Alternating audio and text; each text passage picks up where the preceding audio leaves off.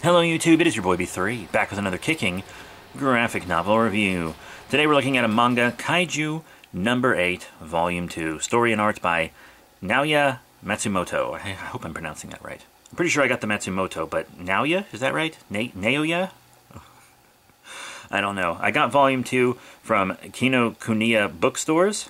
Uh, it's a Japanese bookstore. I think it's a chain, but I specifically went to the Atlanta one. I was looking for Movie Monster Series figures, admittedly, but I came back with uh, Kaiju and Ancient Hero manga. anyway, let me read you the back of this book from Shonen Jump and Viz Media.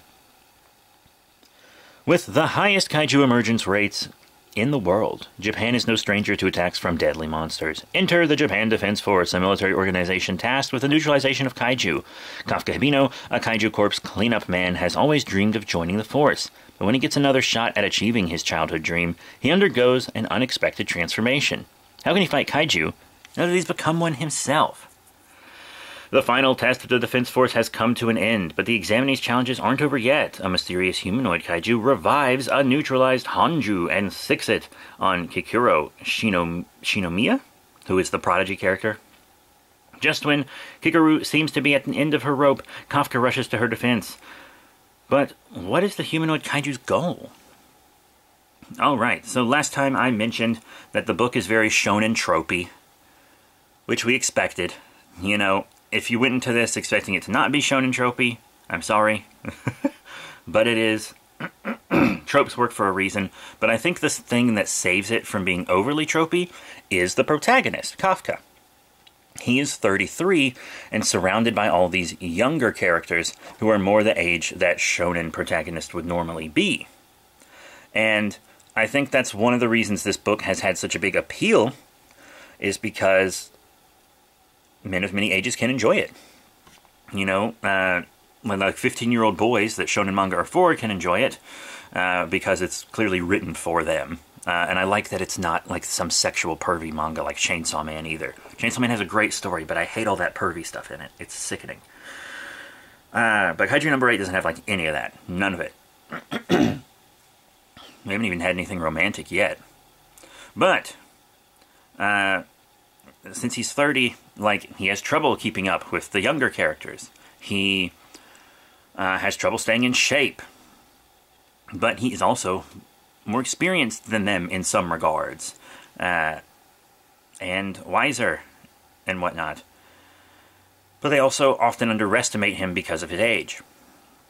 And it's very relatable to older readers like myself. Uh, at the time of recording this, I'm about to turn 30. This will be out a while after I've turned 30. Uh, but I'm recording it then. I just I have so many comic book reviews scheduled that this one has to go out past my birthday, even though I'm recording it before my birthday. So I think it's a very relatable uh, protagonist. Uh, his goals are kind of relatable for younger readers, and who he is is relatable for older readers. And I really like that. Like it's it's a very smart move. and it's interesting that he's not like immediately good at everything. A lot of shonen protagonists are instantly very good at what they need to do, and he's not until he transforms into a kaiju.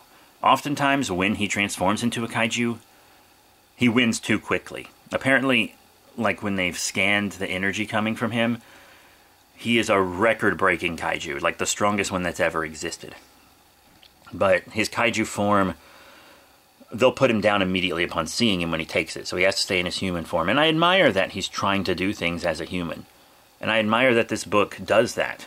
Uh, like, let's look at Chainsaw Man again. In Chainsaw Man, he only fights these devils because he has devil powers. In Kaiju number 8, he fights Kaiju because that's what he wants to do. He just happens to have also gotten kaiju powers. So, yeah, he's the weakest member on his squad, human form wise, but he knows more about kaiju than any of them. You know? Uh, and this, this volume really shows that off. It doesn't show it off as much in volume one, but in this volume, he's looking at kaiju and he's like, hey, look at this. This is uh, genitals for a fungus kaiju. We have to destroy these, or they'll still be able to reproduce even after death because of spores and blah blah blah. So we need to mutilate these genitals. this isn't getting monetized. and he's also like, also here are the kaiju's weak points and blah blah blah. Like he knows a lot about kaiju because of all the kaiju cleanup. Uh, and then kaiju number nine, who is a kaiju that can turn human, is undercover as a kaiju cleanup person. Very interesting. Very interesting. But at the beginning of this volume, he saves the life of the prodigy from the last one. She agrees to keep the secret that he can turn into a kaiju. Uh, and the two of them, who started off not liking each other, have kind of become uh, a bit more understanding of each other. There's also a lot of friendly rival stuff going on with multiple characters in this book. And friendly rivals are a shonen trope. But I like it a lot. I like friendly rivals. A lot. Uh, yeah, rivals that butt heads can also be fun, but I like the friendlier ones more. That's just a personal taste of mine. But yeah, they gotta fight a giant fungus kaiju, and they do. And they defeat it without kaiju number 8's help. Well, the human uh, Kafka helps, but not his kaiju form. But then they discover kaiju number 9 roaming around. They try to take him out, and he does have to bring out his kaiju form to fight that being, who I also hope we get a movie monster series figure of, because I don't want to buy the Figuarts. The Figuarts will be smaller than my movie monster series kaiju number 8, so I'm sure we'll get it. but yeah, there's a lot of good stuff that shows how the characters grow on the battlefield in this. But Kaiju number 8 takes out Kaiju number 9 pretty quick, completely decapitates him. But also, that doesn't slow him down.